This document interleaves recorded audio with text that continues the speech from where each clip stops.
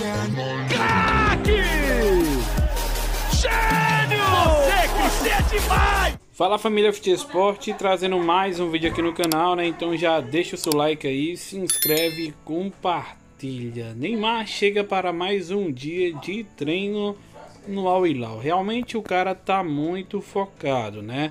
Vem treinando diariamente, já faz também esse treino coletivo, né? Com o restante dos companheiros.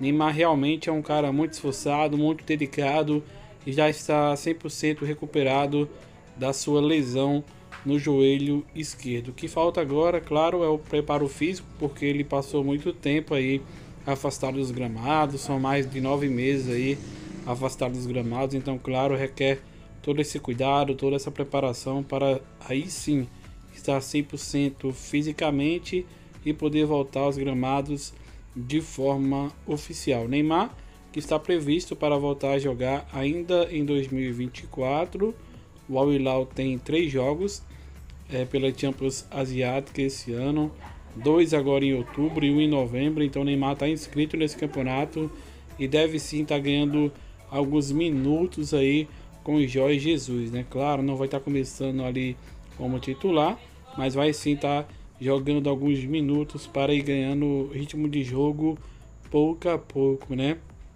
Ele mesmo postou em seu Instagram Feliz em estar de volta, feliz em voltar a treinar e agora é só alegria. Então é, falta pouco para o retorno de Neymar, né? O retorno dele está muito perto.